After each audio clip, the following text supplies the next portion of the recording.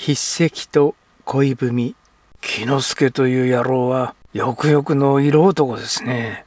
玄太は感心したような馬鹿にされたようなおよそくすぐったい顔をするのです。それで思いついたことがあるが玄太は亀屋へ行って死んだお通の持ち物をみんな調べてくれないか。ええことに書いたものがあったらどんなものでも見逃してはならない。かしこまりました。センタは長浜小十郎のところへ行ってこれは少し難しいが池田大輔は言葉を切りました。これは思いつきは素晴らしいにしても雨屋の仙太郎にはあまりにも冒険をしすぎます。難しくたって構わないよ。何をやらかしゃいいんだい？敵に後ろを見せるような仙太郎ではなかったのです。長浜小十郎殿が大事にしている手紙が見たい。へえそいつは厄介だな。いいよ。そんなことは頼む方が無理だ。やってみようよ。お侍とやっとうの試合をしろというなら無理だが、入り込んで隙を見て手紙を借りてくるぐらいなら。仙太郎は手紙を借りてくると言いました。そして池田大輔が止める間もなく、玄太の後を追うように飛び出してしまったのです。それと入れ違いに石子万作は武士とも町人ともつかぬじっとく姿に一本刺した中老人を連れてきました。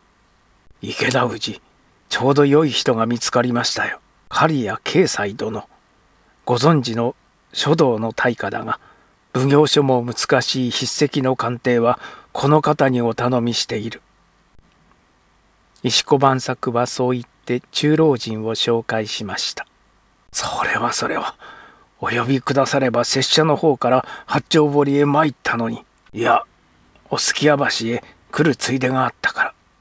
石子万作はこういった物事にこだわりのない人物でした。ところで早速だが不思議なことがあるもんで、石子万作は続けるのでした。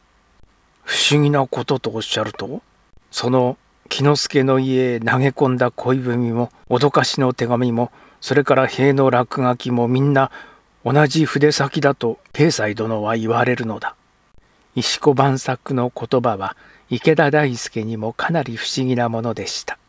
池田様、この筆跡は義筆の名人と言ってもいいものでございますよ。鑑定流めかしくは書いてありますが、これは筆跡をごまかすためで、本来の筆跡には鑑定流の匂いもありません。慶斎は死かと言い切るのです。木の字とかの字を間違えたのは？それほどのことを知らぬ人間とも覚えませぬ。これはわざと間違えたものでございましょう。もしその鑑定が本当なら、相手は容易ならぬくせ者で、その悪知恵のほどはそこも知れなかったのです。筆跡を変えて恋文を書き、同じ筆跡でお通を脅かし、落書きの文字をわざと間違って書いたのは何の企みであろう池田氏石子万作のような老厚な与力にもこの謎は解けそうもありません。くせ者は細工が過ぎました。必ずつまらぬところでしくじっているに違いありません。池田大輔はこのこんがらがった事件の底に次第に小さい小さい糸口を見いだした様子です。ただいま戻ってまいりました半時ほど経って御用聞きの玄太がまず帰ってきました。獲物はどうだ玄太？まずは上々吉でこれをご覧くださいし。玄太が懐から取り出したのは男持ちの手紙が3本。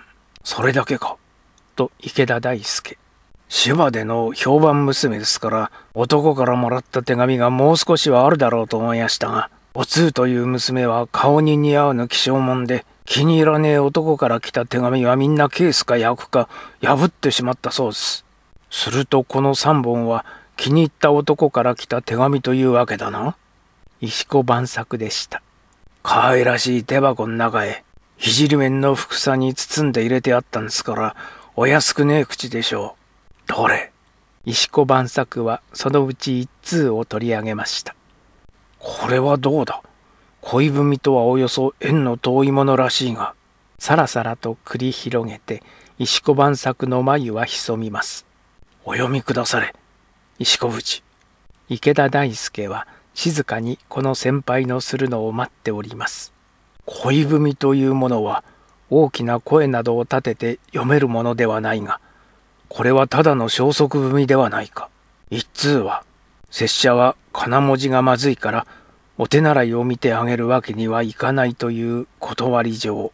次の一通は、せっかく月見のお招きを受けたが、戦略があって参られるという、これも断り状。そして三番目のは、なんか変わったことでも。石子万作が熱心に黙読するのを、池田大輔は覗き加減に促しました。この一本だけは恋になるて、せっかくのおぼしめしながら、お父上ご承知にては力及ばず、ご縁なき者とお諦めくださるほかなかるべく。と言葉は難しいが、これは立派な縁切り状だ。名前は池田大輔は心持ち乗り出します。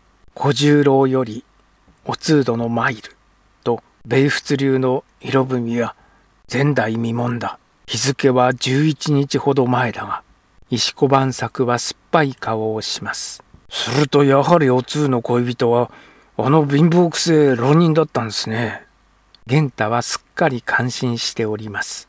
この3本目の手紙を読むまでもなく、娘がちりめんのふくさに包んで手箱の中に入れておくんだから、ただの手紙でないことは分かりきっているよ。石子万作は苦笑いをしております。その時、はあ、驚いた。横っ飛びに飛んできたのは雨屋の仙太郎でした。なんだ仙太、相変わらず想像しいじゃねえか。たしなめたのは玄太です。働いたぜ。危なくガン首がすっ飛ぶところよ。や見つくんな。おいらの首は確かに棒についているかいねえか。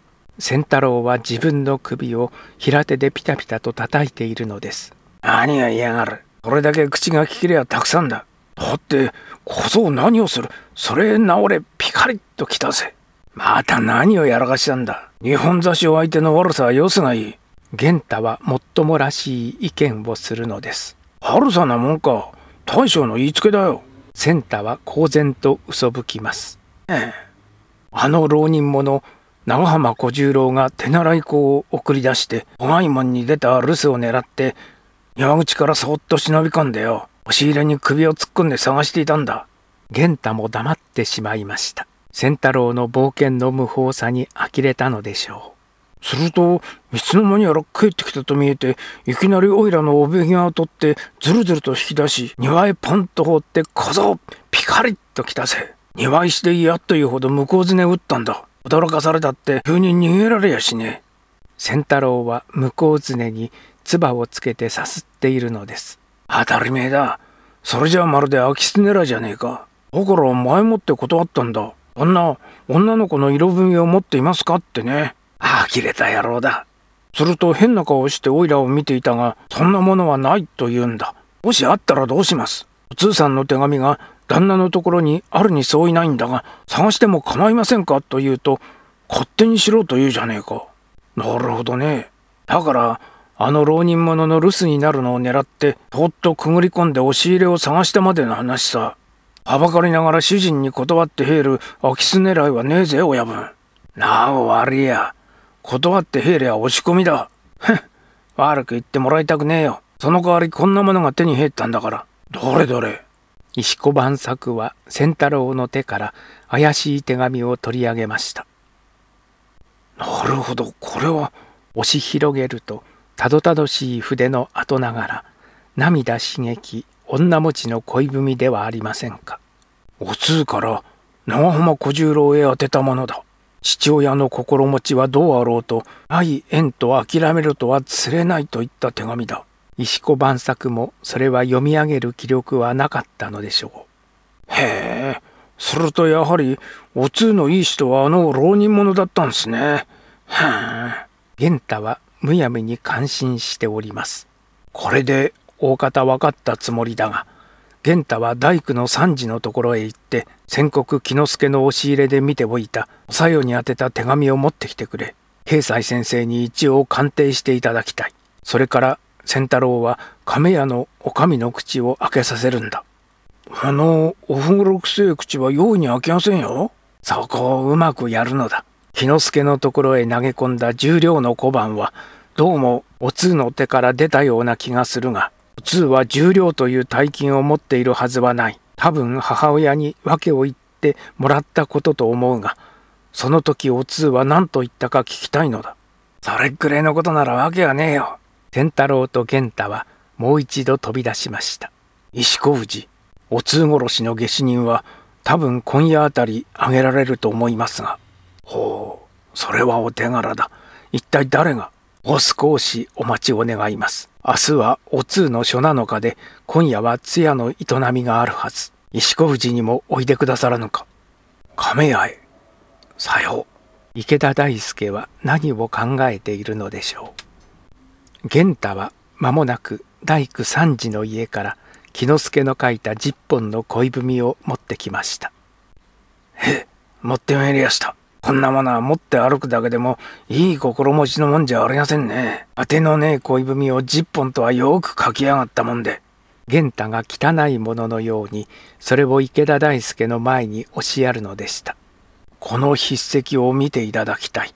全国の恋文や脅かしの手紙、それから落書きと比べて、池田大輔はそれを掲載の前へ広げます。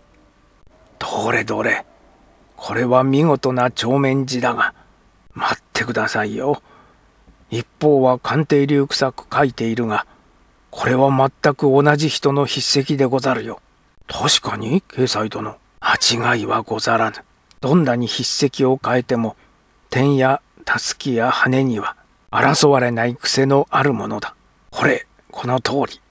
掲載の指先をたどってみると丸みを角張った字に変えて肉太のを細くし右肩上がりを少し下げるとこの4通りの筆跡は全く同じものになるのでした。これは大変なことではござらぬか池田氏。石子万作もこの筆跡の暗示する恐ろしい結果についてはほぼ見当がついたようです。さあわからねえ。これは一体どんなことになるんで池田様。玄太は何が何やら分かりません。ちょうどセンタも帰ってきたようだ。